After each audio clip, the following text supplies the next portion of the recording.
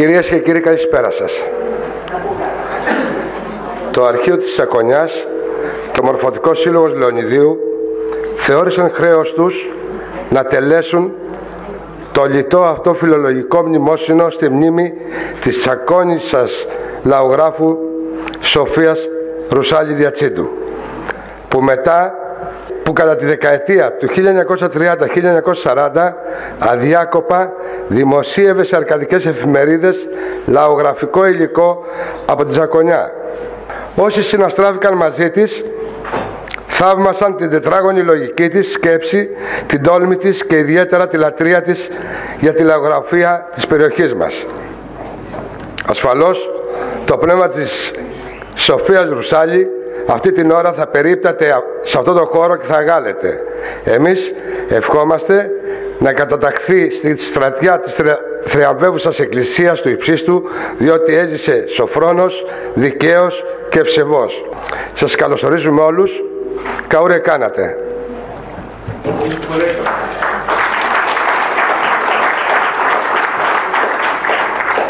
Εκ μέρους του Δήμου θα παρακαλέσαμε τον εκπρόσωπο, την εκπρόσωπο για έναν χαιρετισμό.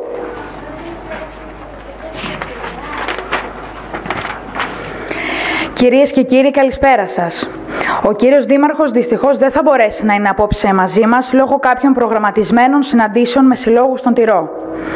Εκ μέρους του θα θέλαμε να σας καλωσορίσουμε και να ευχαριστήσουμε το Αρχείο Τσακονιάς, το Μορφωτικό Σύλλογο Λεωνιδίου και όλους όσους συμμετέχουν στη σημερινή εκδήλωση.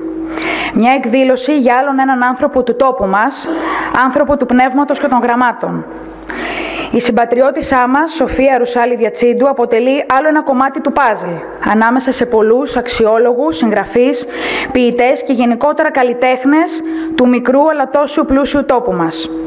Πλούσιος τόπος από ανθρώπους πρικισμένους και πνευματώδεις. Κάποιους τους γνωρίζουμε καλά, άλλους όχι τόσο. Απόψε μας δίνει τη ευκαιρία να γνωρίσουμε την Σοφία Ρουσάλη Διατσίντου, να μιλήσουμε για το έργο της, να το παρουσιάσουμε στο ευρύ κοινό. Το παρελθόν άλλωστε ζει μέσα στο παρόν και δημιουργεί τις βάσεις για το μέλλον. Εμείς όλα αυτά πρέπει να τα κρατάμε φυλαχτά ως εφόδια για τη μετέπειτα πορεία της ζωής μας. Ευχαριστούμε και πάλι. Παρακαλούμε τον κύριο Χρήστο Πετάκο, συμπατριώτη μας, φιλόλογος, σχολικός σύμβουλος δευτεροβάθμιας εκπαίδευσης και συγγραφέας, να ανεβεί στο βήμα και να μας παρουσιάσει το βιβλίο της Σοφίας Ρουσάλη Διατσίδου, η λαογραφία του Λεωνιδίου, έπαινος Ακαδημίας Αθηνών. Η δεύτερη έκδοση εκδόθηκε από το αρχείο της Ακονιάς. Καλησπέρα σας. Ο τίτλος του βιβλίου «Λαογραφία Λεωνιδίου» δεν σηματοδοθεί γεωγραφικά και το λαογραφικό πληθυσμιακό μέγεθος του όλου περιεχομένου του. Επελέγει από τη συγγραφέα Σοφία Ρουσάλη Διατσίντου, αφενός από συναισθηματικό και βιωματικό δεσμό με την ιδιαίτερη αυτή πατρίδα της, της οποίας υπήρξε γέννημα και ανάθρεμά της. Αφετέρου, στην επιλογή της αυτή, μέτρησε και το αντικειμενικό γεγονός ότι το Λεωνίδιο αποτελούσε και την πρωτεύουσα πόλη της ευρύτερης περιοχής της Τσακονιάς. Το λαογραφικό υλικό του βιβλίου έχει ευρύτερη του Λεωνιδίου πληθυσμιακή και γεωγραφική αναφορά.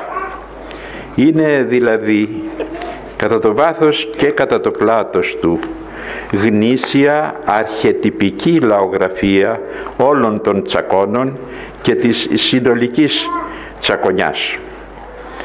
Ο περιγραφόμενος βίος, τα ήθη και τα έθιμά τους έρχονται από πολύ παλιά, από χρόνους που δεν είχε δοθεί στην πρωτεύουσα πόλη της Ακονιάς η ονομασία Λεωνίδιο, αλλά έρχονται από τα χρόνια εκείνα που ακόμη λεγόταν ως Αγιαλίδη ή Αγελίδη. Οι βασικές εγγυήσεις που από την πρώτη στιγμή έχουν σημαδέψει και επικυρώσει αυτό το βιβλίο ως ένα πολύτιμο λαογραφικό πόνημα της Σοφίας Ρουσάλη Διατσίντου και αποτελούν εγκυρότατες πιστοποιήσεις για την ποιότητα και την αξία του ως βιβλίο λαογραφικού υλικού είναι αφενός η υποστήριξη εν τη γενέση του από τον εμβριθέστατο και συστηματικότατο μελετητή και λάτρη της τσακώνικης διαλέκτου τον αείμνηστο Θανάση Κωστάκη. Αφετέρου η τόσο τιμητική διάκριση που έτυχε το βιβλίο αυτό με την επιβράβευσή του από την Ακαδημία Αθηνών. Η λαογραφική ματιά της συγγραφέως είναι έξοχα διεισδυτική με στόχευση τα σώψυχα, τα πατροπαράδοτα της τσακώνικης ζωής, της κλειστής ενδοοικογενειακής αλλά και της ευρύτερης κοινωνικής ζωής. Οι κύριες προτεραιότητες είναι η ενδοοικογενειακή επικοινωνία της μάνας με τα παιδιά, των παππούδων με τα εγγόνια. Μέσα από αυτή τη λειτουργία γίνεται η μετάληψη και παράδοση πρώτα και κύρια της λαϊκής ντοπιολαγιάς της τσακώνικης. Γι' αυτό και η συγγραφέας μέσα στο βιβλίο της έχει δώσει τον πρώτο λόγο στην τσακώνικη λαϊκή γλώσσα. Στις πρώτες στήλες των σελίδων έχει καταχωρήσει το λαογραφικό της υλικό στα τσακώνικα και ακριβώς δίπλα σε ακριβή αντιστοιχεία στίχο με στίχο και λέξη με λέξη έχει τη μετάφρασή τους στην κοινή νεοελληνική δημοτική γλώσσα. Με το πρώτο κεφάλαιο του βιβλίου παρουσιάζει την τσακώνικη ενδυμασία όχι όμως με απλή ενδυματολογική περιγραφή μουσιακή και νεκρή. Η περιγραφή γίνεται με την ζωντανή διάσταση του λαογραφικού υλικού της. Και αυτή η ζωντανή διάσταση δεν αγγείται μόνο στο ότι είναι καταγραμμένη στη λαϊκή ντόπιολαγιά, στην αρχαιότατη λαϊκή μορφή της ελληνικής διαλέκτου των δωριαίων της προϊστορικής κοινουρίας των ε, εκδοριευμένων ιώνων της κοινουρίας για την ακρίβεια. Δηλαδή αυτόν που κατά τον πατέρα της αρχαιολογικής ιστορογραφίας τον Ηρόδοτο αναφέρονται ακριβώς ότι οι δε κοινούριοι αυτόχθονες αιώντες δοκέης ημούνι είναι Ιωνές εκδεδορίευde δε υπό αργίων αρχόμενοι και υπό του χρόνου. Δηλαδή οι κοινούριοι όντας γηγενείς θεωρούνται ότι αυτοί μόνο είναι Ιώνες αλλά εκδοριεύτηκαν με την διακυβέρνησή τους από τους αργίους και με το πέρασμα του χρόνου στην αριστερή στήλη της πρώτης σελίδας του βιβλίου αρχίζει με η περιγραφή στα τσακώνικα, αλλά δεν αρχίζει με την εικονική περιγραφή της ενδυμασίας. Καταγράφει αυτό που είναι το πιο σημαντικό, το πιο βαθύ και ουσιαστικό από λαογραφική άποψη, τον βιωματικό τρόπο της διάδοσης και της επιβίωσης της λαϊκής τσακώνικης παράδοσης. Όπφουρ ίγκια ιαούνται οι παππούδερά μου, αμάτι δεν άχα τα νησάτη, τσεκίνε τα νεδικάσι. Δηλαδή, όπως έλεγαν οι παππούδες μου, η μητέρα έδειχνε στη θυγατέρα και εκείνη στη δική της. Αυτό μόνο, λέει, μόνο σαν σύντομη και δωρική λιγόλογη εισαγωγή. Η ουσιαστική περιγραφή ξεκινά με την παραγωγική φροντίδα για την εξασφάλιση της πρώτης ύλης που ήταν το μπαμπάκι. Για ίγκια ή πφύρουνται μπαμπάτσα, δηλαδή γι' αυτό έσπερναν μπαμπάκια συνεχίζει με τον ενδοοικογενειακό τρόπο επεξεργασίας της πρώτης αυτής ύλης, καθώς και των μαλλιών από πρόβατα και γίδια και της μετατροπής τους σε υφαντικές ύλες, σε μπαμπακερές και μάλινες κλωστές και κατακολουθίαν σε αντίστοιχα ή ανάμεικτα υφάσματα, καθαρά και γνήσια δηλαδή η κάθετη οικογενειακή οικονομία από την καλλιέργεια στο χωράφι στον οικογενειακό μόνιμα στημένο αργαλιό. Όμως το πιο ωραίο που αποπνέει αυτή η λαογραφική αποτύπωση είναι η ψυχική, η ευχάριστη οικογενειακή διάθεση και εργασιακή ατμόσφαιρα. Κάθε βράδυ δίπλα στη γωνιά η μητέρα και η γιαγιά έπαιρναν δίπλα τους τα κορίτσια και τα γόρια να ξάνουν μπαμπάκι και να ξεκουκίσουν. Για να εργάζονται και τα μικρά τους έλεγαν παραμύθια. Κατά τις εργάσιμες ώρες της ημέρας στο χωράφι οι τσακώνισες μελισσούλες το έπαιζαν διπλοπενιά θα έλεγα. Η μητέρα χώριζε σε κανονικές τουλούπες και το πρωί της έπαιρναν τα μεγάλα κορίτσια μαζί τους και όπως πήγαιναν στο χωράφι ή με τα ζώα τις έγνεθαν. Ένεκα τούτου έλεγαν και το τραγούδι «Πάει τη ρόκα γνέθωτας, τα δράχτη της βαρύ» και τσακωνιστή «Ένι έγκαμε αρόκα συνέσα, το νάιτ θε βαρύε». Σε όλη αυτή την περιγραφή δεν υπάρχει απλώς μια τυπική επιφανειακή και εικονική αφήγηση, άπνοη και ξερή, δηλαδή μια μουσιακή περιγραφή της τσακώνικης ενδυμασίας, παρουσιάζεται απλά και λαϊκότροπα η όλη επιμέρους δημιουργική και παραγωγική ζωή των τσακωνισών και των τσακώνων η σχετική με την εξοικονόμηση και την εξασφάλιση των ενδυματολογικών τους αναγκών. Για τα κλειδοσκεπάσματά τους, για τα εσώρουχά τους, τα εξώρουχα, τα καθημερινά και τα γιορτινά, για τα χρώματα που έφτιαχναν οι ίδιες, ποια ήταν τα εποχικά τους ρούχα, τα χειμωνιάτικα και τα καλοκαιρινά τους. Δηλαδή τον όλο ενδυματολογικό τρόπο ζωής.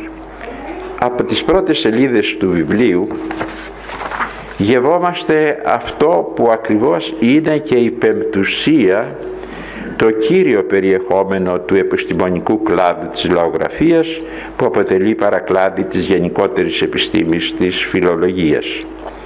Και στο σημείο αυτό δεν θα διακινδυνεύσω καθόλου αν αποτολμήσω να σας διαβεβαιώσω ότι διαβλέπω τον σωστικό επιμορφωτικό ρόλο που έπαιξε ο επιστημονικός μέντορας της συγγραφέως ο Θανάσης Κωστάκης ώστε αν και απόφοιτη συγγραφέας μόνο του εξαταξίου γυμνασίου Λεωνιδίου εργάστηκε για τη συλλογή του λαγογραφικού της υλικού με πολύ πετυχημένη στόχευση και με ολοκληρωμένη αντίληψη του λαϊκού βίου των τσακώνων. Μέσα στην εκτεταμένη και λεπτομερή αφήγηση για την όλη τσακώνικη ενδυματολογία εν υπάρχει ένα ακόμη σημαντικό πολιτισμικό και κοινωνιολογικό στοιχείο το ότι η τσακώνικη παράδοση επιβίωνε με παράλληλη ανταπόκρισή της και με τον ευρύτερο πολιτισμικό και κοινωνικό της περίγυρο. Ήταν ως ζωντανή παράδοση συγχρόνως και ανοιχτή στην εξέλιξη και στην πρόοδο. Ζούσε μέσα από μία σχέση διαλεκτική και διαλλακτική με το ευρύτερο κοινωνικό γίγνεσθε. Δεν θα μπορούσε φυσικά να γίνει κι αλλιώς, αφού σε όλο το μήκος του Ανατολικού προς τη θάλασσα, γεωγραφικού ορίου της, η Τσακονιά διέθετε πάντα ευρύ και ανοιχτό ορίζοντα για θαλασσοπλοϊκές επικοινωνίες. Η Τσακονιά και οι Τσακώνοι ποτέ δεν έζησαν στην απομόνωση είχαν πάντα μια σχέση εναρμονιστική και τροφοδοτική και με το καινούργιο και με το ξενόφερτο ώστε με τρόπο ήπιο και αποδεκτό το κάτι ξένο και κάτι νέο να εμφυτεύεται στον τόπιο στο παλιό και στο πατροπαράδοτο. Η τσακώνικη παράδοση σε όλες τις εκφάνσεις και τις μορφές της άντεξε και αντέχει ακόμη γιατί ο ψυχισμός των τσακώνων επέμενε πάντα και επιμένει ακόμη να διατηρεί μια ενδιάκριτη δική του τοπική ταυτότητα να συντηρεί βαθιά μέσα του το πατροπαράδοτο αυτό που παίρνουν τα εγγόνια από τους παππούδες και τις γιαγιάδες τα παιδιά από τους γονείς.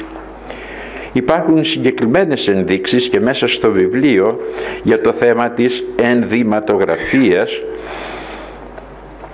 ότι και για τα υλικά και για τις τεχνικές η τοπική παράδοση ήταν ανοιχτή και πρόθυμη απέναντι στο νέο και το ξένο. Για παράδειγμα, στην περιγραφή με τον τίτλο «Κουτουνί» έτρου ίγκια η αούντενη από το κάλικα δηλαδή έτσι το έλεγαν από το ύφασμα. Το έφερναν από τα ξένα. Το ράψιμό του συνεχίζει ήταν ίδιο αλλά το έραβε ο Τερζής. Ξένη λέξη. Άλλο τμήμα της φορεσιάς με τον τίτλο «Ατιλάζει» το ατλάζι πράσινο ή κίτρινο και αυτό όπως και το κουτουνί το αγόραζαν από την ξενιτιά. Στο δεύτερο κεφάλαιο καταγράφει τους τρόπους ζωής. Αναλυτικά ξεδιπλώνει όλες τις πτυχές της ολοκληρωμένης με πλήρη αυτάρκεια η κόση της λαϊκής οικονομίας. Λέει «Ζούσαμε απλά, όλοι δουλεύαμε στα κτήματα, εκάναμε το σιτάρι, το κρυθάρι και ό,τι άλλο. Όλα τα είχαμε. Τρέφαμε κοτόπουλα, πρόβατα, γίδια, βόδια και πάρα πολλά γουρούνια. Στις παραγωγικές ε, οικιακές δραστηριότητες ήταν ενταγμένη και η καλλιέργεια του μεταξοσκόλικα και η όλη η φαντική και η φασματική αξιοποίησή του. Περιγράφονται αναλυτικά και πολύ παραστατικά οι ενδοσπιτικές εργασίες για την κατασκευή των γίδινων και μπάλινων υφασμάτων, ρούχων, σεντονιών, στροσιδιών κλπ. Παραθέτει μάλιστα και ορισμένα συνήθι τραγούδια που οι γυναίκες αρέσκονταν να τραγουδάνε όταν ξένανε τα ράσα, δηλαδή τα γίδινα τριχώματα ακόμη και ευτράπελες ε, νυχτερινές ιστορίες έχει εντάξει στο λαογραφικό υλικό της η συγγραφέας. Περιγράφει πώς έκαναν τις μπουγάδες τους οι καλονικοκυρές και πώς παρασκεύαζαν το δικό τους σαπούνι καθεμιά για τις ετήσιες ανάγκες τους. Και κλείνει το κεφάλαιο αυτό με τα νοικοτσουριά, δηλαδή τα νοικοκυριά τις οικοσκευές, τους οικιακούς εξοπλισμούς καθώς και τα φαγητά, το ψωμί και τις πλακοκουλούρες ή πλακοκολιούρες. Ιδιαίτερα αξιόλογο είναι το κεφάλαιο για την κόρη στο σπίτι και τον γάμο στην τζακονιά. Πρώτη επιμέρους ενότητα οι φροντίδες της μητέρας ακολουθούν τα αραβωνιάσματα, τα πρικοσύμφωνα, τα τελετουργικά, οι χωροί και τα τραγούδια και τα στεφανώματα. Πάλι και εδώ εμπλουτίζει και διανθίζει τα αφηγήματά της με μίαν ήλαρο-τραγική ιστορία. Την όλη διάχυτη ηθογραφική και ψυχαγωγική ατμόσφαιρα, δηλαδή πλήρες το φάσμα της λαϊκής κουλτούρας το επίπεδό της, το βάθος της και την ποιότητά της, ιδιαίτερα τις λεπτές και ευαίσθητες πτυχές της ψυχικής καλλιέργειας. Παράδειγμα, ο άγραφος κώδικας της ευπρεπούς συμπεριφοράς των στενών συγγενών της αραβωνιαστικιάς απέναντι στους οικείους του αραβωνιασμένου κατά τρεις-τέσσερις μέρες μετά τα αραβωνιάσματα τον δίσκο ή την απλάδα με τα γλυκά θα τον πάει η αδερφή μικροτέρα ή ξαδέλφη ή θεία από το σόι του πατέρα. Προσέχουν να μην είναι χαροκαμένοι, δηλαδή να έχει τον άντρα της, τους γονείς, τα παιδιά της. Μαζί βάζουν και δώρα. Σε όσους συγγενείς του γαμπρού δόρισαν στην ύφη θα τους στείλουν και κάτι για δώρο. Του γαμπρού θα τους στείλουν κάνα ζεύγος παντόφλες, βελούδινες και ντυτές. Στο τέταρτο κεφάλαιο, πολύ σύντομα, μόλις τριών σελίδων, υπάρχουν ενδεικτικά ορισμένα στοιχεία για το εθνικό δίκαιο γύρω από τα αγρονομικά, τις αγροζημιές, τα ιδιωτικά συμφωνητικά και τους ιδιωτικούς τοκισμούς χρημάτων.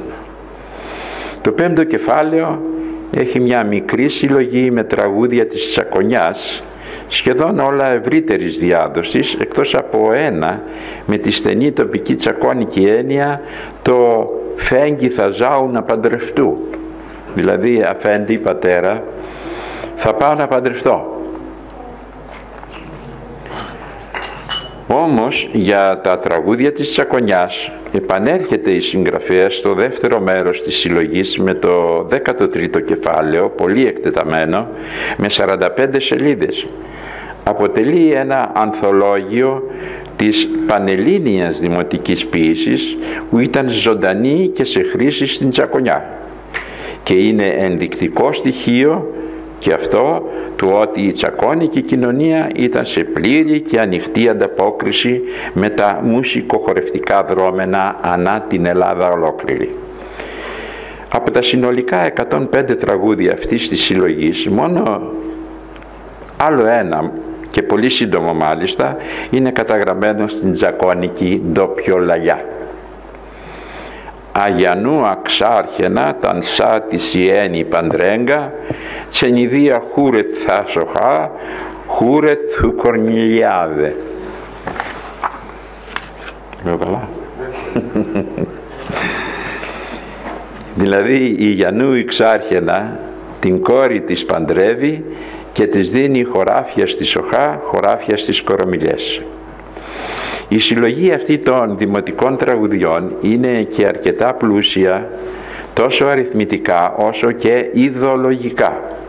Περιέχει όλων των ειδών, χορευτικά, τσακώνικων, τοπικών, συρτών, μπάλων, τσάμικων, χωρών. Περιέχει και καθιστικά της τάβλας, παρεΐστικα και γλετζέδικα, κλέφτικα και ηρωικά, παραπονιάρικα και εθνολογικά, για τα βάσανα και τους καημούς, για το χάρο και το θάνατο. Και ως φυσική ακολουθία έρχεται το επόμενο κεφάλαιο με τα μυρολόγια.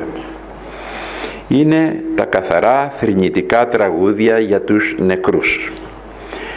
Ας κατσάμε να νη τραγουδίε με θοβαρζόμυρε. Ας κάτσουμε να τον τραγουδήσουμε τον Βαριόμυρο. Αυτά είναι τραγούδια μακρόσυρτα για το ξενύχτισμα πλάι στο νεκρό, για το συντρόφευμα και το ξόδι του μέχρι το μνήμα. Εξιστορούν για αυτόν και τη ζωή του, για όσα αφήνει πίσω και στο νεκρό δίνουν φωνή και τον παρουσιάζουν αποχαιρετά, πικραμένα μα και παρήγορα. Μην κλαις κόρη και μάνα μου, κάνε σταυρό στην Παναγιά, γύρε παρηγορήσου, τεκάει κι άλλον η καρδιά, δεν είσαι μοναχή σου. Μέσα σε αυτά τα λαϊκά μυρολόγια επιβιώνουν κατευθείαν με τη ζωντανή λαϊκή μας παράδοση υποτυπώδη και σε λανθάνουσα μορφή τα χωρικά των αρχαίων Ελλήνων κλασικών συγγραφέων τραγωδιών του Εσχύλου, Σοφοκλή και Ευρυπίδη. Τα μυρολόγια αυτά κλιμακώνουν μια πορεία μετάβασης από τον πόνο και τη θλίψη προς την κάθαρση, την ανακούφιση, προς τη συνέχεια για ζωή. Άλεμι, πότε θα μόλερε για να έχουν τα νολπίδα ανώβερε, να έχουν τον μπόρε ανιτφέ, σε τα νικάρα δέσα κατώβερε.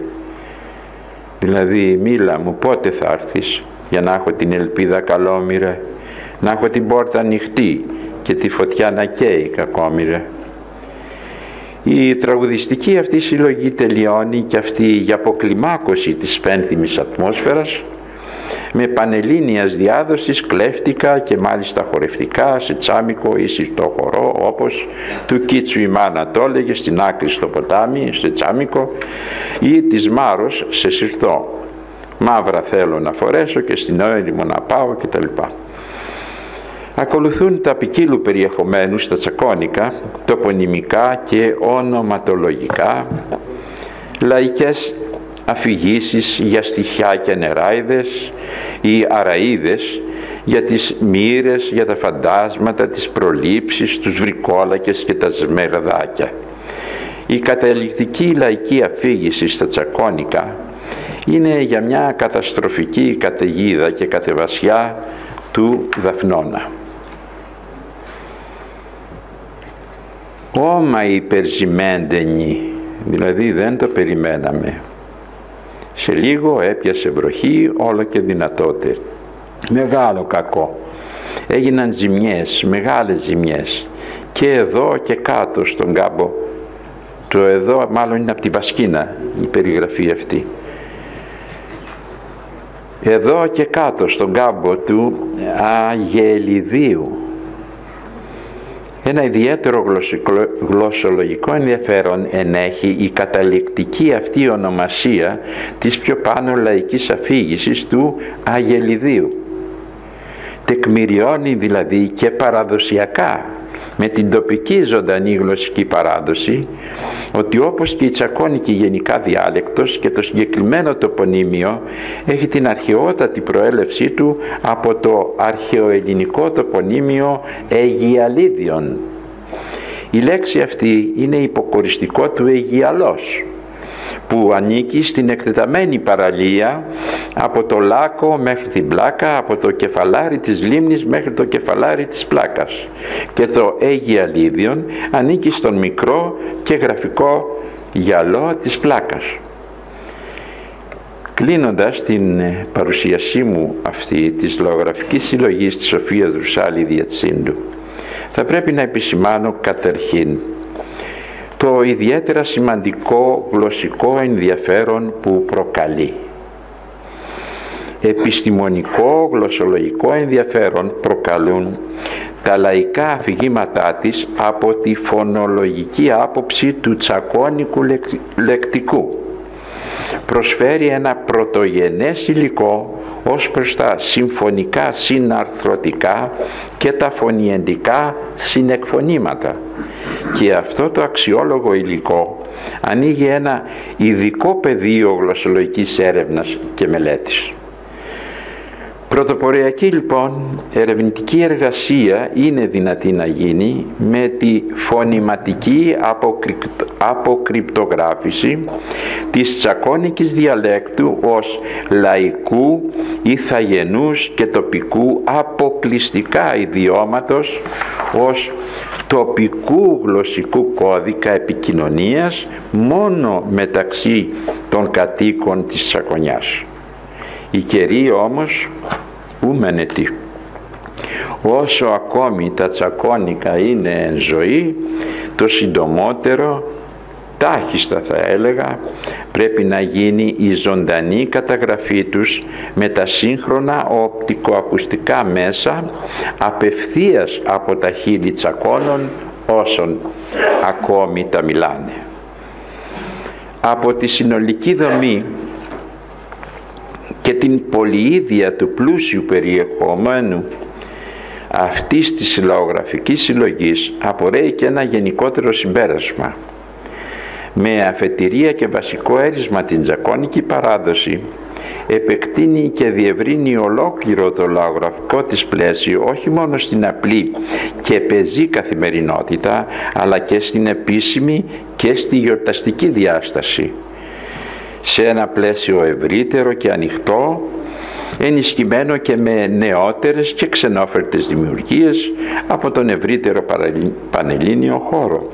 Παρουσιάζει μια τσακώνικη παράδοση ζωντανή και με ανοιχτό ορίζοντα, με εξέλιξη, με χαρές και λύπες, με βάσανα αλλά και με απολαύσεις. Το δέντρο της παράδοσης στείνεται ολόκληρο και με τις βαθιές και δυνατές ρίζες και με τα κλαδιά και την άφθονη καρποφορία του. Από αυτή την πλούσια κάποτε καρποφορία εμείς σήμερα μόνο λίγη νοσταλγία μπορούμε να αποκομίσουμε για μια χαμένη συντροφικότητα και συλλογική ζωή, για την αστήρευτη εργατικότητα, για ένα σφιχταγκάλιασμα με την πανέμορφη φύση μας, για μια έστω και σύντομη ματιά προς τον διπλανό μας, για διάθεση ανθρωπιάς, αλληλεγγύης και συμπαράστασης. Ή τότε η παραδοσιακή καθημερινότητα αποπνέει και κάποια δική της υπερβατικότητα κάποια ποιοτική της ανέλυξη αποπνέει και μια ποιότητα ψυχαγωγική. Επιβεβαιώνει και το στίχο του εθνικού μας ποιητή, του Διονύσου Σολομού, ότι και με τα χίλια βάσανα πάλι γλυκιά η ζωή είναι. Και θα ολοκληρώσω με τα επικαιρινά μας δρόμενα και θα πω ότι έχει και η Τσακονιά τη δική της Παναγιά. Σας ευχαριστώ.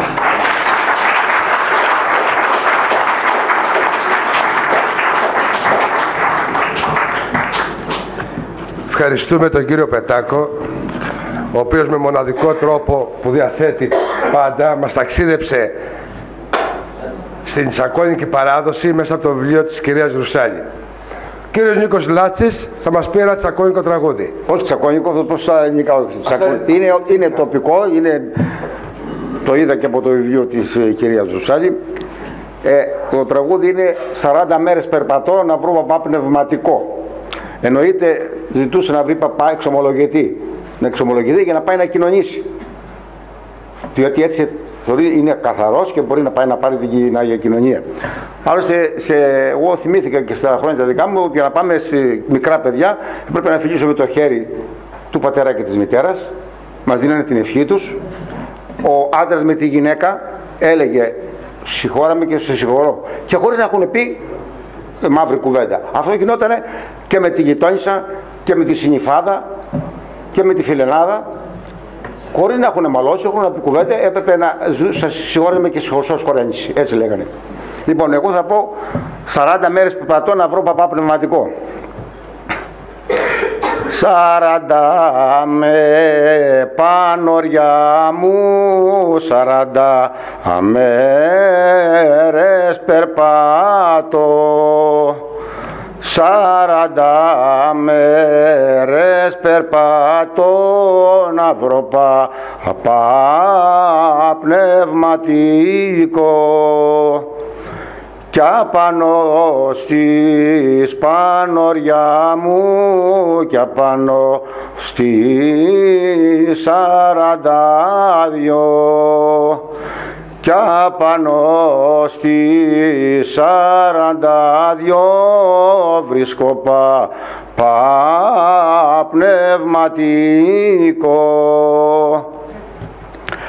Παπαγιά ξεμόλογα με τα κρυμάτα συγχωράμε τα κρυμάτα πανωριά μου τα κρυμάτα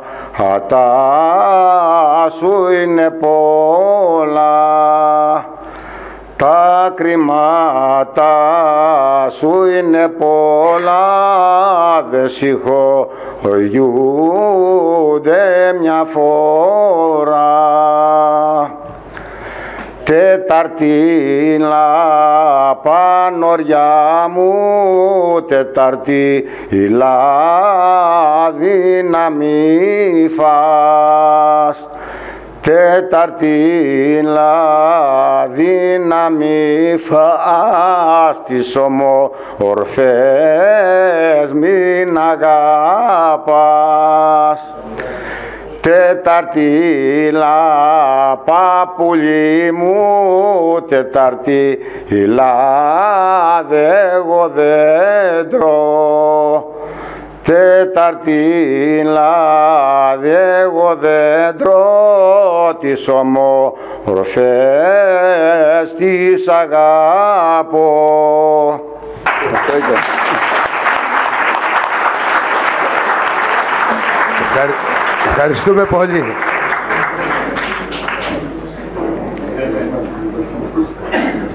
Παρουσίαση του βιβλίου της Σοφίας Ρουσάλη Διατσίδου «Η φωνή του δάσους» με ηθογραφικά διηγήματα της Ακονιάς, έκδοση του αρχείου της Ακονιάς από την κυρία Φανή Ρουμπάνη Καλατζοπούλου. Ένα σύντομο βιογραφικό για την κυρία Φανή Ρουμπάνη Καλατζοπούλου για να την γνωρίσουμε και οι κάτοικοι εδώ της περιοχής. Γεννήθηκε στην Τρίπολη Αρκαδίας. Είναι κόρη του ιερέως πατρός Γεωργίου Ρουμπάνη και ανεψιά του αιμνίστου Μητροπολίτου Μαντινίας και Κοινουρίας Γερα... Γερμανού Ρουμπάνη. Σύζυγος του Αθανασίου Καλατζόπουλου, χημικού μηχανικού και μητέρα τριών θυγατέρων. Μετεκπαιδεύθη στην Ελλάδα και στο εξωτερικό. Υπηρέτησε ως καθηγήτρια στο Εθνικό Μετσόβιο Πολυτεχνείο η Σχολή Χημικών Μηχανικών. Σήμερα είναι ομότιμη καθηγήτρια του Εθνικού Μετσόβιου Πολυτεχνείου. Δίδαξε φυσικοχημία στη Σχολή Χημικών Μηχανικών σε προπτυχιακό και μεταπτυχιακό επίπεδο. Το ερευνητικό της έργο έχει δημοσιευθεί σε έγκριτα διεθνή επιστημονικά περιοδικά. Παρακαλούμε την κυρία Φανή Ρουμπάνη να έρθει στο βήμα.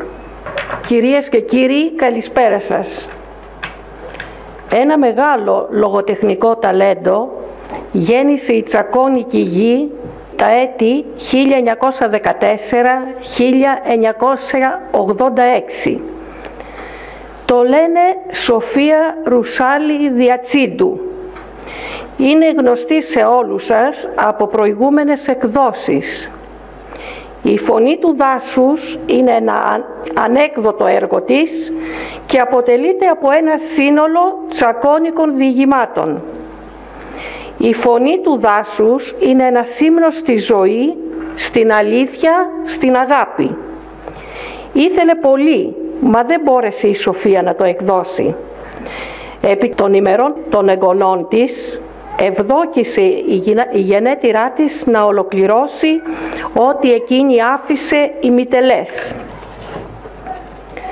Σε εκπλήσει ο πηγαίος αφηγηματικός της λόγος, η φιλοπατρία της, οι ιστορικές της γνώσεις. Μέσα από τις μικρές σύντομες ηθογραφικές διηγήσεις της αναπηδούν ιστορίες ανθρώπων, ξεπροβάλλουν ήθη και έθιμα ετών, βγαίνουν ηθικοπλαστικά μηνύματα και καθρεπτίζονται τα συναισθήματα και οι μύχιες σκέψεις της συγγραφέως. Χωρίς πλατιασμούς, αλλά και με περίσσιο ταλέντο, αναπλάθει οι ιστορίες του τόπου της, του τόπου που σημάδεψε ως φαίνεται τη ζωή της. Την αγάπησε η Σοφία την Τζακονιά, την ύμνησε, την τραγούδισε και το τραγούδι αυτό έφτασε ως τις μέρες μας και θα μείνει για πάντα για να μαθαίνουν και οι νεότεροι την περηφάνεια της λεβέντικης τσακώνικης γης. Να μαθαίνουν την ιστορία της, να διδάσκονται το σωστό αγωνιστικό φρόνημα εις πείσμα των ποικίλων προβλημάτων και δυσχεριών που φέρνουν οι καιροί. Οι αυτοτελείς της διηγήσεις με τον ιδιαίτερο προσωπικό αφηγηματικό τρόπο και την ωραία πλοκή σκιαγραφούν μορφές του παρελθόντος, του παρόντος, του μέλλοντος. Μέσα στο αέναο ρεύμα του χρόνου οι άνθρωποι παραμένουν οι ίδιοι, μα και τα προβλήματά τους και οι προβληματισμοί τους επαναλαμβάνονται. Αυτή είναι η ζωή του ανθρώπου. Σήμερα πτωχός, αύριο πλούσιος. Σήμερα πλούσιος, αύριο πτωχός. Φιλοσοφεί μέσα από τη ζωή του Κυριλία η συγγραφεύς Σοφία Ρουσάλη Διατσίντου. Μα και εκείνο το σπίτι που ξανάζησε πρόκειται για τίτλο διηγήματος πόσες ανάλογες ιστορίες δεν φέρνει στην επιφάνεια ξυπνώντας συνειδήσεις που βρισκόντουσαν σε παρατεταμένο λίθαργο στέλνοντας ένα ηχηρό μήνυμα αφύπνισης. Ναι, έχουμε όλη υποχρέωση να ξαναζήσουν τα πατρικά μας σπίτια. Το φωνάζει η Σοφία εκ μέρους του γέρο Νικολού, μα και εκ μέρους όλων εκείνων που πέρασαν πριν από μας και που τώρα περιμένουν από εμάς να δείξουμε την αγάπη, το σεβασμό μας και τη φιλοτιμία μας. Μηνύματα διαχρονικά, μηνύματα παντός καιρού. Εκείνη η ολιγάρκεια των ανθρώπων της εποχής και η ευτυχισμένη ζωή τους μέσα στις αναπόφευκτες μπόρες της ζωής και τις αξεπέραστες πολλές φορές δυσκολίες σ' αφήνει άφωνο. Η χαρά της εξερεύνησης της φύσης και η επαφή μαζί της αναπλήρωνε και κατά πάσα πιθανότητα υπερέβαλε εκείνη των πολυήμερων διακοπών και εξωτικών ταξιδιών του σήμερα. Έτσι, η εξερεύνηση του μαλεβού ήταν κάτι το συγκλονιστικό.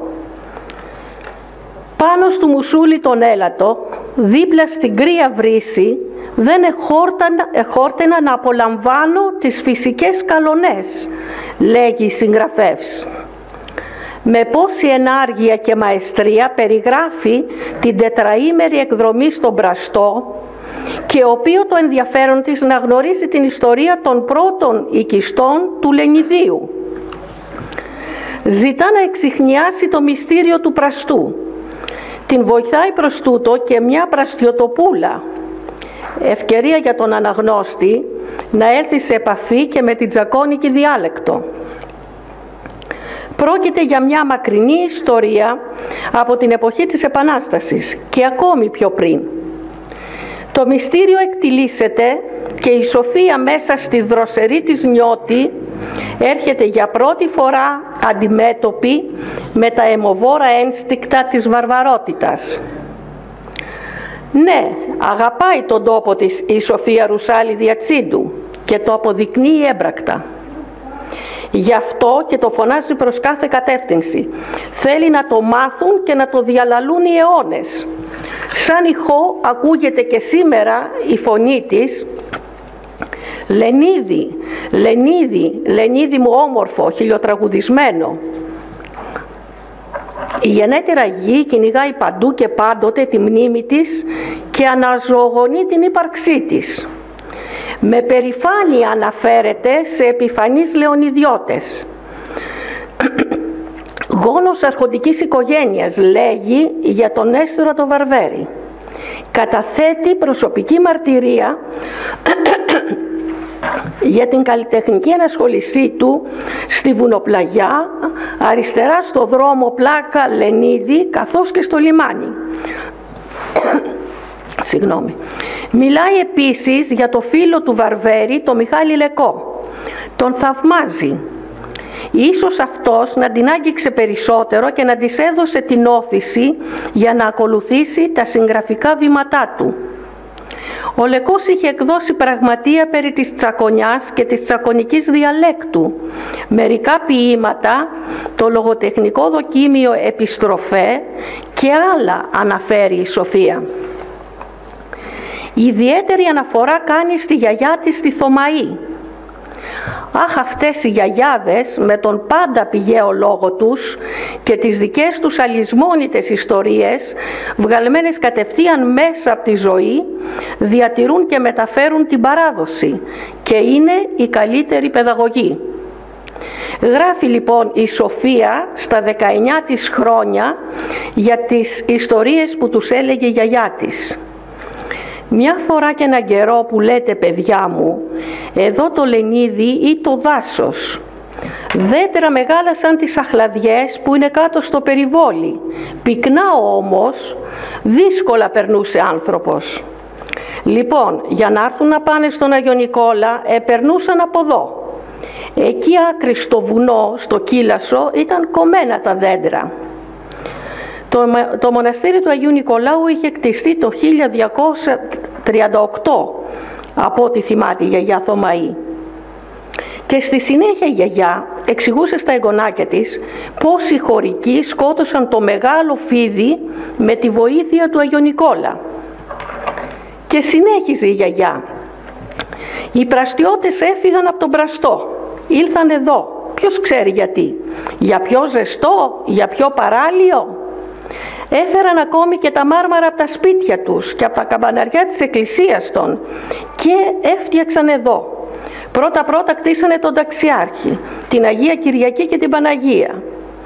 Το καμπαναριό της Παναγίας και της Αγίας Κυριακής, τα μαρμαρά τους δηλαδή, είναι από τις εκκλησίες του Πραστού.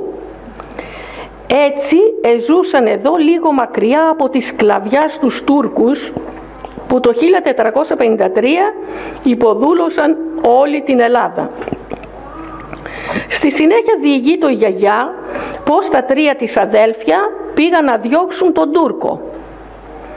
Μαθήματα κοινωνιολογίας, ορθόδοξης πίστης και αυθεντικής ελληνικής ιστορίας. «Αχ καημένη γιαγιά», έλεγε μεγάλη πια η Σοφία, «πού είσαι και τώρα να μας πεις καμιά ιστορία; Έχεις τώρα 19 χρόνια πεθαμένη και σε ενθυμούμε σαν να απέθανες χθες. Πώς της άρεσαν οι ιστορίες που αφορούσαν τούτο τον τόπο. Η φωνή του δάσους, τίτλος της πρώτης της ιστορίας, επέλεξε οι συγγραφές να, οι συγγραφές να είναι και ο τίτλος του υποέκδοση βιβλίου της, αυτού που έμελε μετά 100 χρόνια από τη γεννησή της να εκδοθεί. Πρόκειται για μια συναρπαστική ιστορία που αγγίζει τα τρίσβαθα της ανθρώπινης καρδιάς. Αλλού πάλι αναφέρει θα κόψουμε στις κορμιλιές από εκεί του Αγίου Ναριού, Αγίου Αναργύρους, μέσα στο Δαιμονιάρι. Θα κτυπήσουμε δόθε κήθε και θα πάμε στην Παλιόχώρα. Θα φάμε στο Μιλτιάδη, να πιούμε και κανένα, θα περάσουμε και στο Γεροκοσταντή του Ντουζένη και ύστερα στην Καλίτσα και στο μοναστήρι. Αυτά λέει ο γεροντότερος της αντροπαρέας των κυνηγών. Στην καριά, ρωτάει ο Μιχάλης. Ναι, στην καριά. Το μοναστήρι Άγιος Νικόλαος ή Καριάς απέχει 5-5,5 ώρες από το Λεωνίδιο και είναι κτισμένο πριν την τουρκοκρατία, επεξηγεί η Σοφία Ρουσάλη. Έχει μια αμεσότητα η Σοφία και μια πηγαία ειλικρίνεια. Σέβεται τον αναγνώστη. Έχει κάθε φορά κάτι καινούριο να του πει βγαλμένο μέσα από τη δική της ευαίσθητη καρδιά χωρίς να τον κουράζει.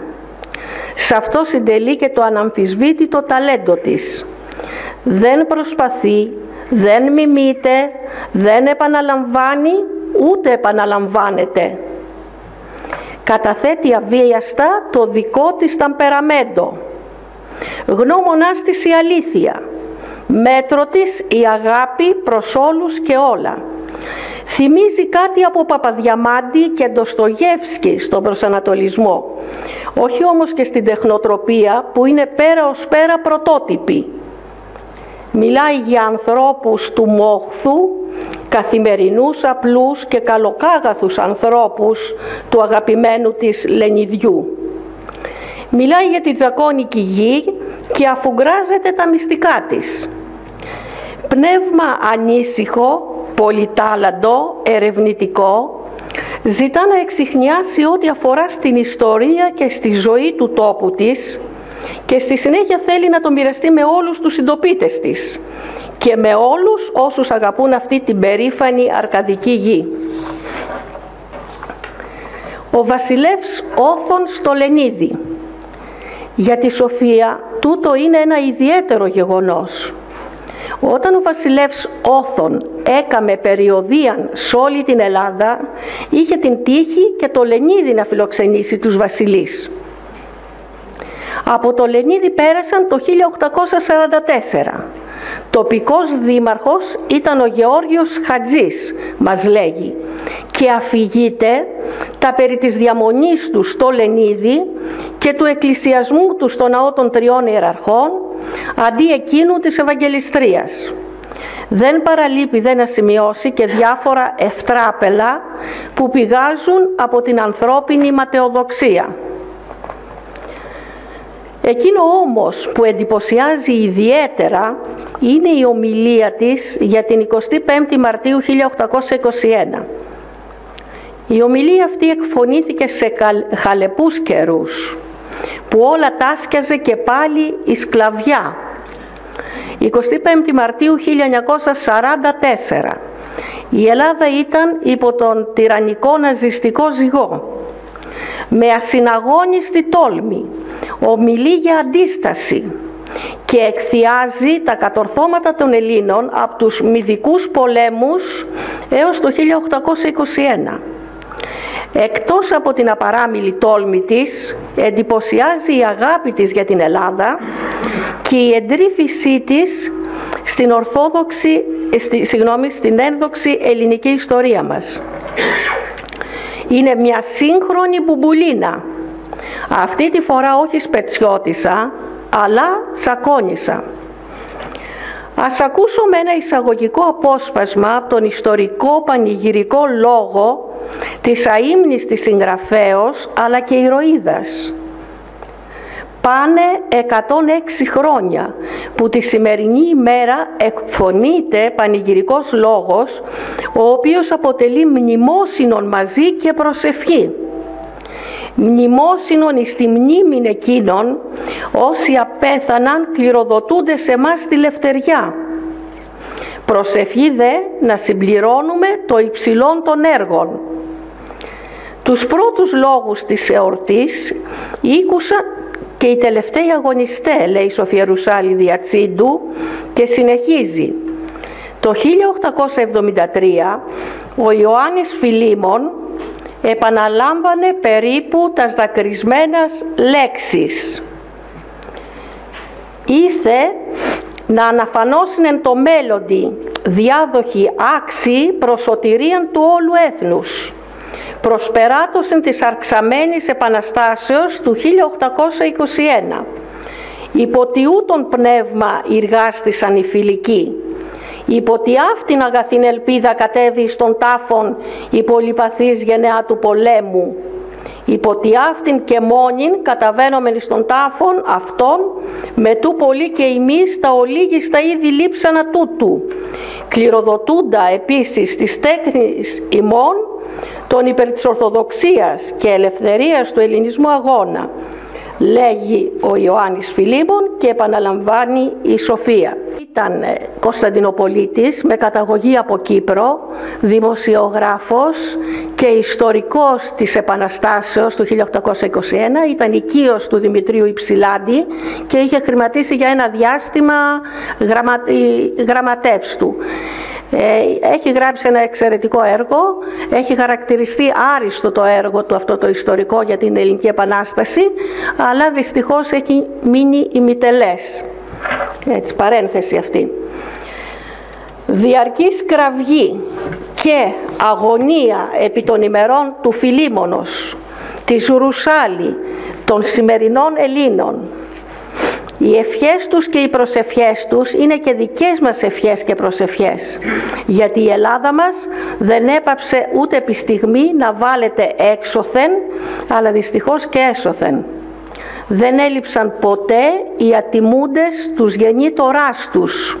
Σύμφωνα με τη γνωστή ρίση του μεγάλου Έλληνα διανοούμενου και πατριώτη Γεωργίου Τερτσέτη έτσι η εμφάνιση άξιων ηγετών είναι ένα συνεχές ζητούμενο όλων των εποχών. Στη συνέχεια η ηρωική ομιλήτρια στην ιστορική ομιλία της 106 χρόνια μετά τη συντριβή της τουρκοκρατίας αλλά υπό το καθεστώς της ναζιστικής επικυριαρχίας και τον ήχο της γερμανικής μπότας εκτιλήγει όλη την ένδοξη ελληνική ιστορία μας αρχομένη από τον αρχαιοτάτων χρόνων κάνοντας τις δικές της αξιολογικές ιστορικές επισημάνσεις. Γυναίκες σαν τη Σοφία τιμούν την ιδιαίτερη πατρίδα τους αλλά και όλη την Ελλάδα. Έβγε σε όσους συντελούν στο να βγαίνουν γνήσια αυθεντικά πρότυπα από τα χρονοτούλαπα της ζωής και της ιστορίας και να προβάλλονται στις νέες γενιές των Ελληνόπαιδων κόντρα στην ισοπαίδωση και στον αφελινισμό. Η Σοφία Ρουσάλη Διατσίντου είναι ένα από αυτά την ευχαριστώ που ευδόκησε να είμαι εγώ που έμελε να ασχοληθώ με αυτή τη βιβλιοπαρουσίαση. Είναι ιδιαίτερη τιμή για μένα που κι εγώ είμαι γέννημα θρέμα της Αρκαδικής Γης. Ευχαριστώ όλους εσάς που βρίσκεστε εδώ για να τιμήσουμε όλοι μαζί μια πραγματική Ελληνίδα 100 χρόνια μετά τη γέννησή της. Την Ελληνίδα που αγάπησε πραγματικά τον τόπο της, τον ύμνησε και τον τραγούδισε. Σοφία Ρουσάλη Διατσίντους, ευχαριστούμε. Ξέρουμε ότι και από εκεί που είσαι τώρα νοιάζεσαι για το Λενίδι σου και εύχεσαι και προσεύχεσαι για την ελευθερία και την ανεξαρτησία της ελληνικής μας γης. Προσευχή σου και για μας να φανούμε άξιοι των δικών σου προσδοκιών και τις παρακαταθήκες που εσύ μας άφησες να τις παραδώσουμε κι εμείς ολάκερες και ανώθευτες στις επόμενες γενιές των Ελλήνων. Θα περατώσω το λόγο μου παραφράζοντας κάπως τα δικά σου λόγια. Λόγια που απίφθινε στους ήρωες του 1821 μόλις 100 χρόνια μετά τη Μεγάλη Εποποιία. Για το μνημόσυνό σου αείμνηστη Σοφία Ρουσάλη Διατσίντου είναι στενή η θόλη των δικών μας καρδιών. Παρά τα αυτά αποτείνουμε την προσευχή μας και εμείς τον ύψιστο ανακράζοντες όπως και η δική σου η γενιά. Ζήτω η αιωνία Ελλάς. Ευχαριστώ.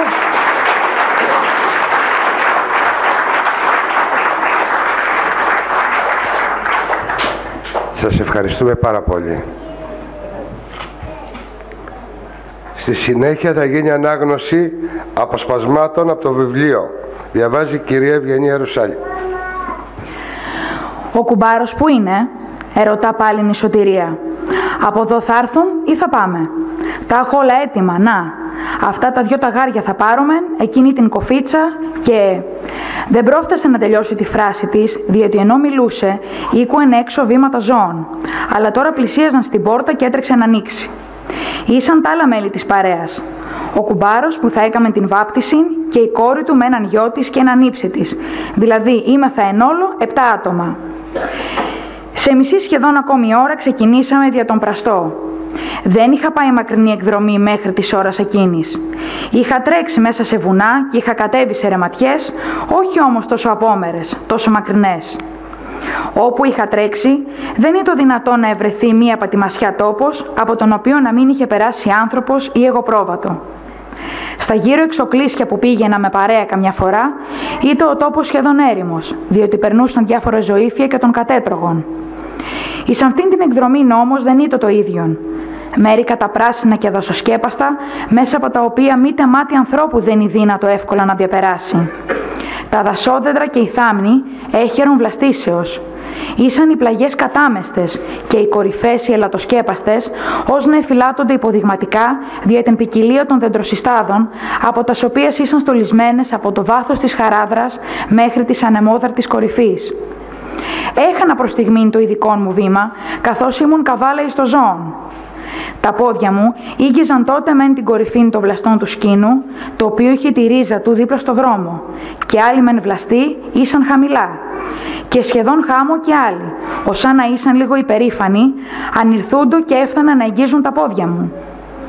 Πιο πέρα ήμουν αναγκασμένη να κύπτω την κεφαλήν, διότι κάποια βελανιδιά είχε τον κλάδον της απλωμένο προς τον δρόμο, όσα να ήθελε με τη δροσιά της να κρατεί λίγα λεπτά στον ίσκιο της κάθε διαβάτη. Είχε όμως από τα χρόνια γύρει πολύ και έπρεπε να γύρω λίγο το κεφάλι ή να μην κτυπήσω. Πιο πέρα πάλι από εδώ και από εκεί οι κουμαριές, λες και συναγωνίζονται να κάνουν φράχτη στο δρόμο, καθώς λίγο άλλα κλαδιά, ακόμα πιο θαμνώδη, συνεπλήρωναν κάθε κενό που τύχανε να αφήνουν οι κουμαριές. Αριά παριά και καμιά αγριελαία έδειχνε τον προορισμό της, αν δεν ήταν εκφυλισμένη με τον ψηλό πράσινο καρπό της, καθώς και καμιά αγριοαμυγδαλιά και αγριογλαδιά. Καθώς πηγαίναμε, έφνης, βλέπω κάποια δέντρα άγνωστα. Ένα μάλιστα το ενόμισα δια ελάτι και είπα κάπως χαρούμενα «Να, ελάτι». «Όχι», μου λέει ο Βασίλης, «αυτό είναι κέδρος. Άμα πάμε πάνω στην κρυάβρηση θα ειδείς ελάτια. Δεν ξέρω αν έχουν και στο χωριό μέσα».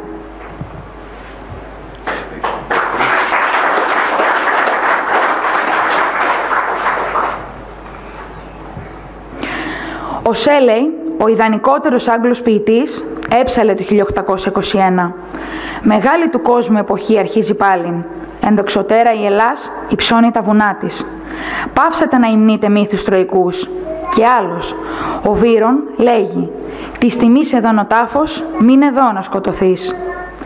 Πτωχοί διδάσκαλοι, όσοι εισπήρατε των σπόρων της ιδέας, αγράμματοι έμποροι, γενόμενοι απόκρυφοι συνομότε, υψηλόφρονοι ευπατρίδε, όσοι θυσιάσατε θρόνους και τιμάς, νεαροί σπουδαστέ, όσοι ομώσατε των όρκων των εφήβων των αρχαίων Αθηνών, αυτοσχέδιοι πολεμιστέ, όσοι συντρίψατε στρατούς, πλοίαρχοι, όσοι αποκλείσατε μεγάλους τόλους, πυρπολιτέ που ανατινάξατε ναυαρχίδας και ναυάρχους, σιωπηλοί πρόκριτοι, Δαπανίσατε στο παν, δεν εμοχθήσατε εις μάτιν.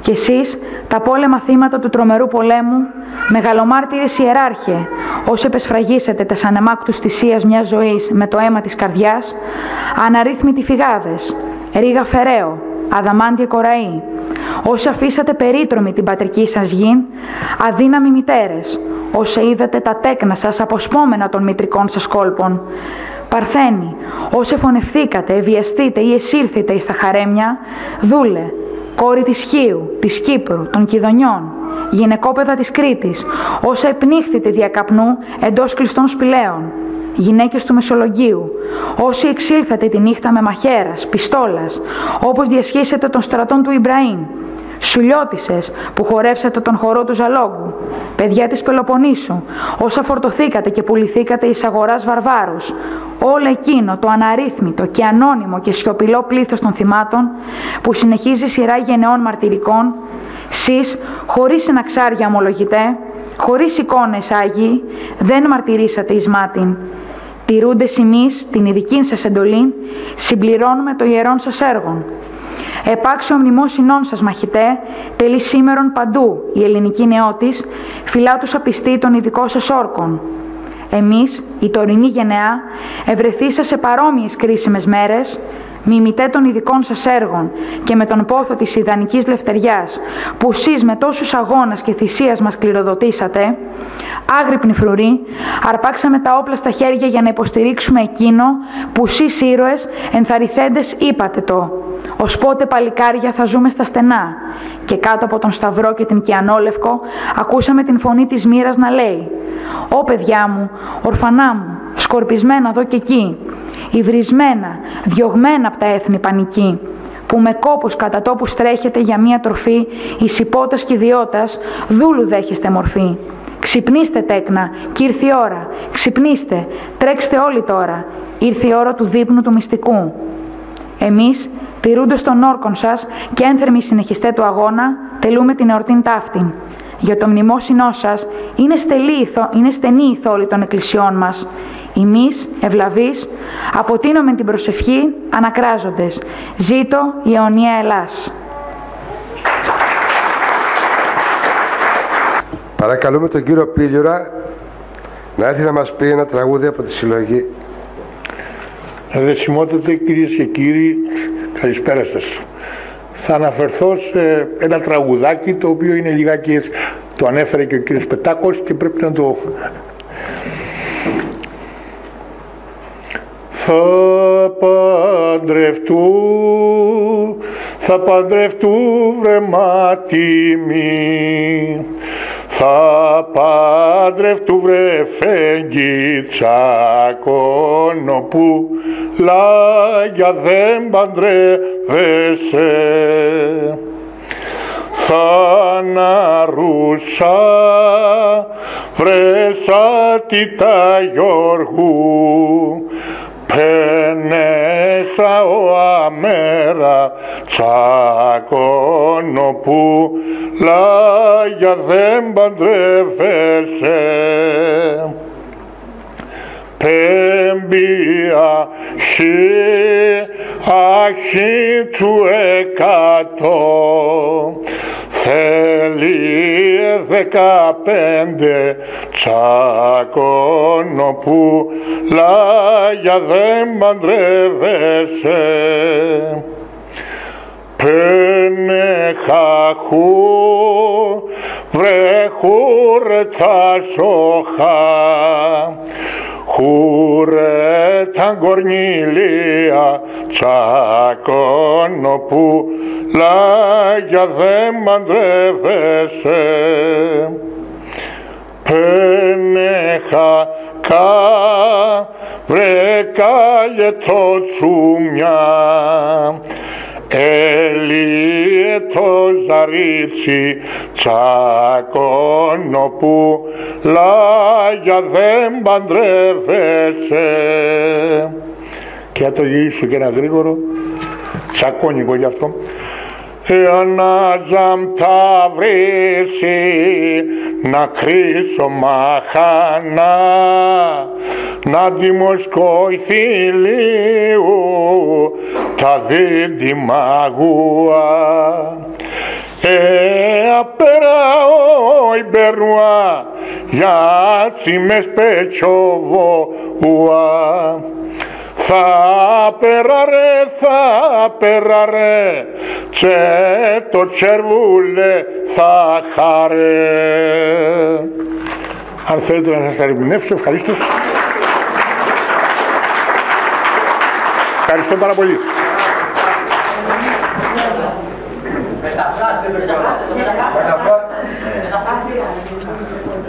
Θα παντρευτώ βρε μάνα μου, θα παντρευτώ βρε πατέρα.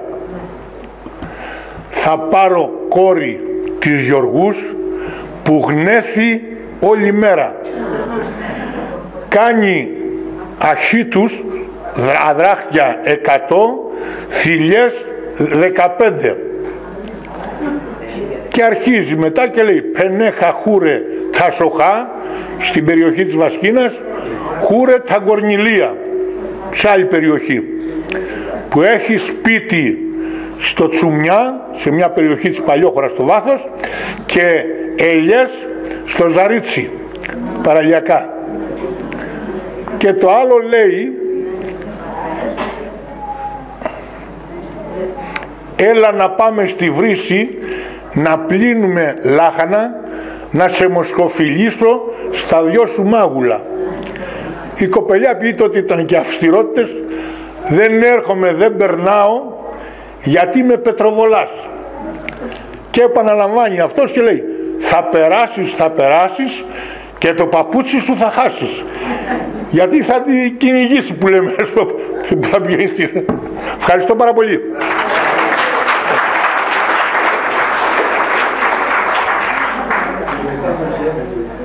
Μία σύντομη αναφορά στη συγγραφέα από τον κύριο Τάκη Πιτσελά, επίτιμο πρόεδρο του Αρχείου Τσακονιάς.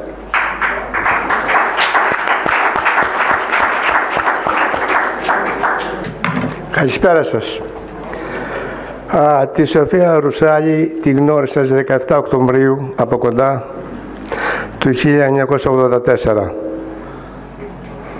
Ήταν μια ευγενιστάτη κυρία και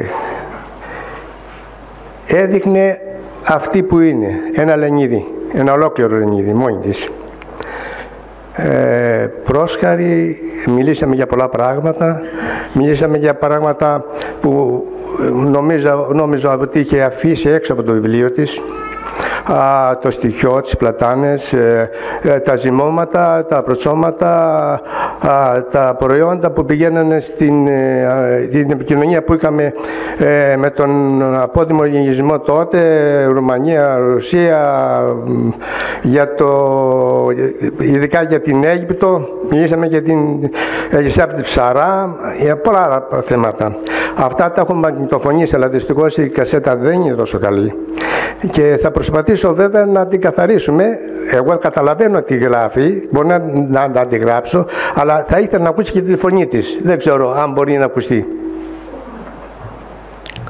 Δεν είναι τόσο καθαρή, αλλά θα προσπαθήσουμε να δισάξουμε αυτήν εδώ.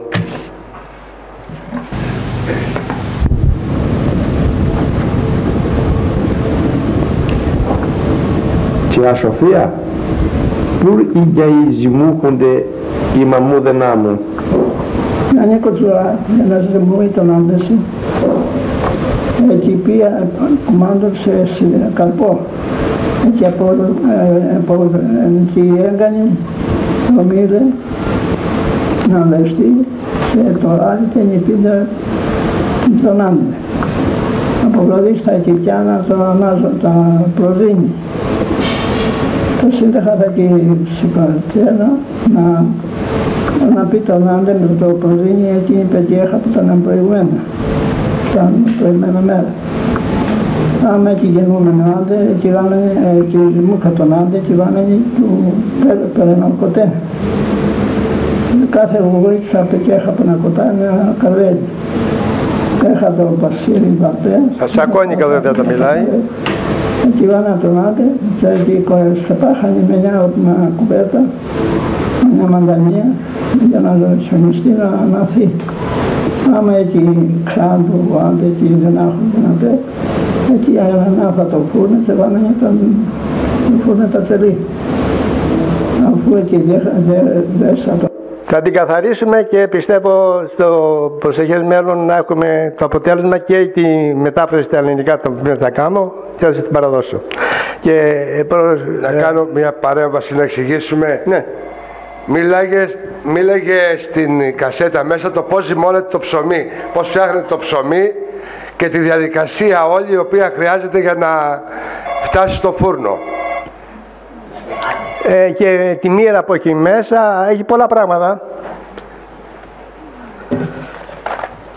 Για να καλύψω το χώρο μου θα σας διαβάσω ένα ποίημα προς τιμή της Σοφίας ε, όπως συνέβη γιατί σας είπα κουβαλούσε ένα λενίδι ολόκληρο ήταν μόνη της η μοίρα έρχεται απρόεπτη και μας συνοδεύει σαν πουλί λαλή σαν θάλασσα σαν ήλιος, σαν βροχή.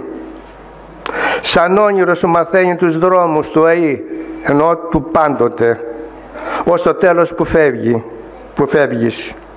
Να κρατάς την αρχή της ζωής που γεννιέσαι. Ο χρόνος που δημιουργείς τις μορφές σου, να θυμάσαι το υπάρχω και στο δεν τις σχέσεις πρωτοπόρα των σκέψεων ως παράδοση της μητρικής σου γης, Πρασιέ, ως το όνομα Αγελίδη. Καλποφόρησες λόγω το χρέος σου, τίνοντας αίμα στους κόκκινους βράχους της μητέρας, της ημέρας, της νύχτας, να υψώνεσαι φως. Ευχαριστώ πολύ.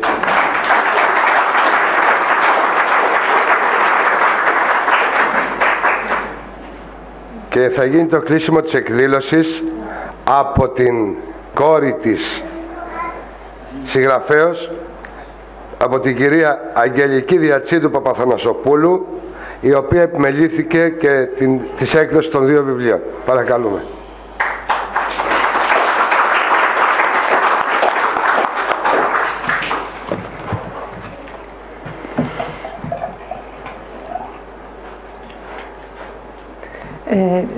Σεβασμιότατε. Ε, ναι, δεν ακούγομαι.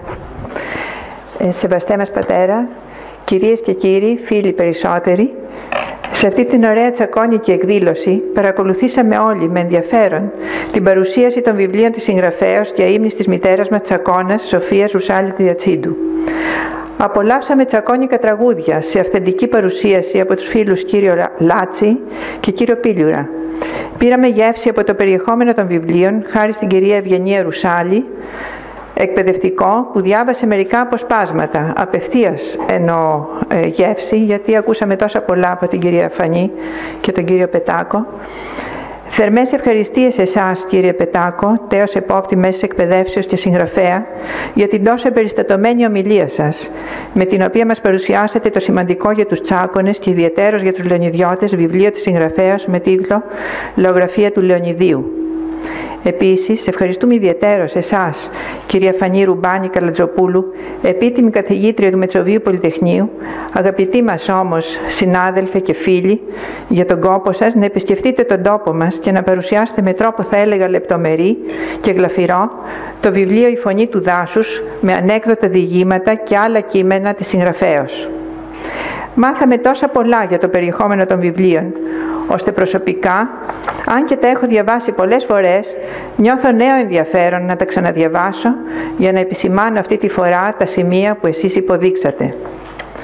Με τον τρόπο αυτό, όλοι εδώ σήμερα, τελούμε λογοτεχνικό μνημόσυνο στη μνήμη της μητέρας μας, που περιορισμένη στην κοινωνία του Λεωνιδίου, σε ηλικία περίπου 20 ετών, θέλησε να δώσει στις επόμενες γενιές μνήμες για το παρελθόν του τόπου της. Εργάστηκε στη λογραφία και με τα διηγήματα του δεύτερου βιβλίου της προσπάθησε και πέτυχε να δώσει για χάρη μας μέρος της καθημερινότητας της εποχής εκείνης.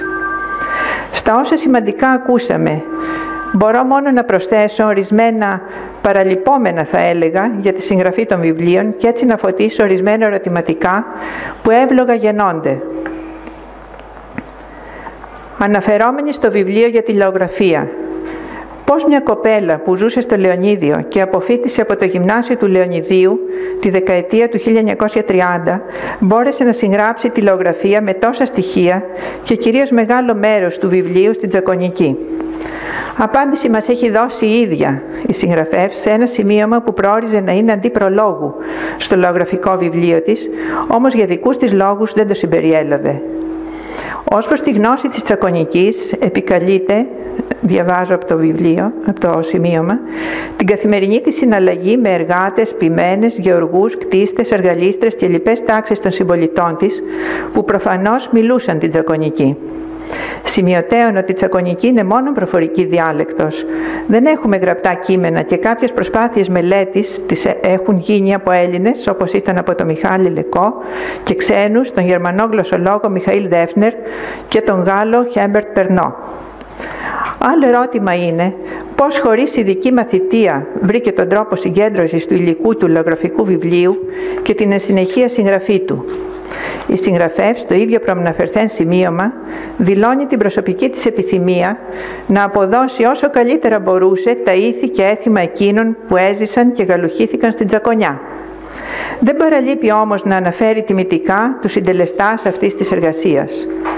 Πρώτα αναφέρει τη μητέρα της, η οποία αν και δεν της επέτρεπε να μάθει να ομιλεί την τζακονική, τελικά της στάθηκε πραγματική βοηθός αναφέρει η συγγραφέα πάλι.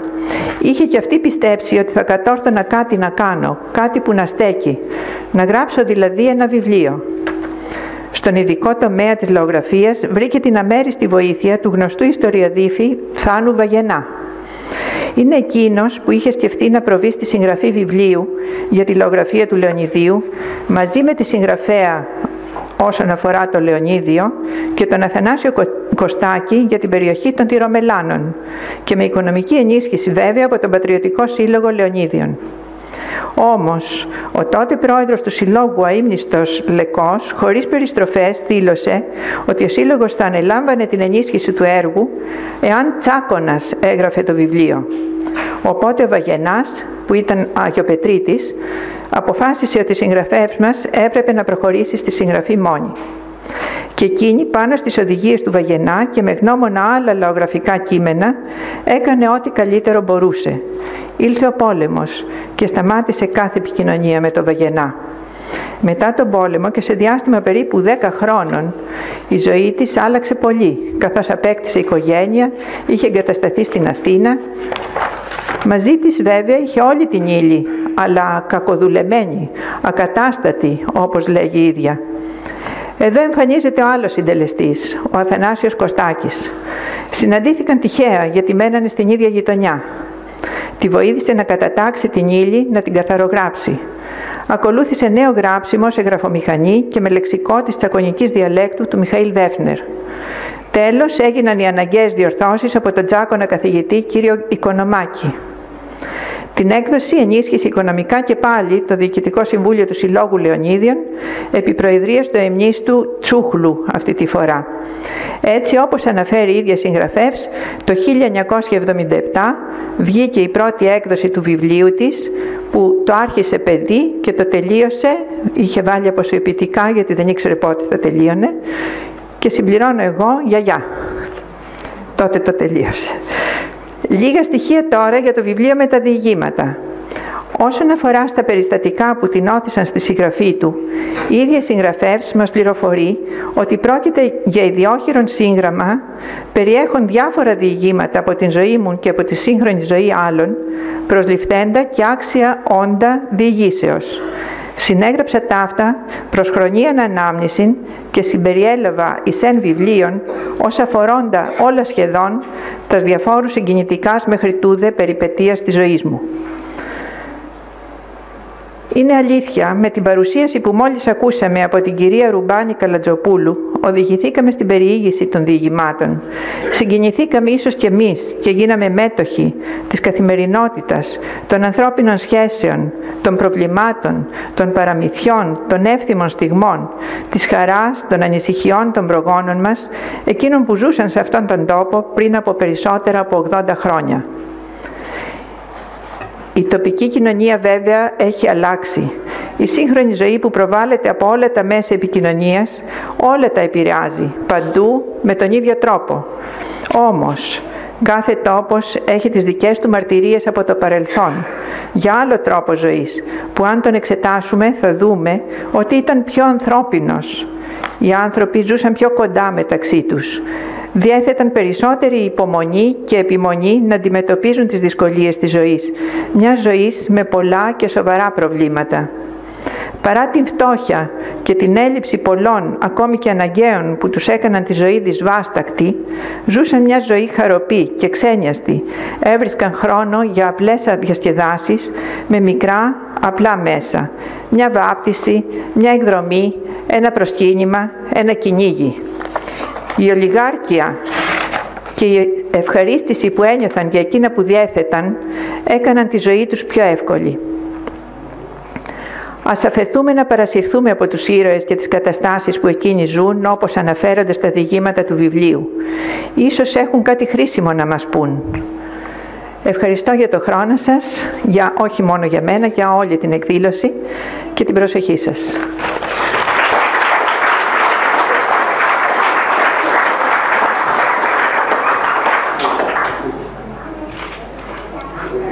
Σας ευχαριστούμε για άλλη μια φορά για την παρουσία σας και να σας ενημερώσουμε ότι την Κυριακή 23 Νοεμβρίου και μετά τη Θεία Λειτουργία θα τελεστεί μνημόσυνο στη μνήμη της στον Ιερό Ναό της Ευαγγελιστρίας. Ευχαριστούμε πολύ.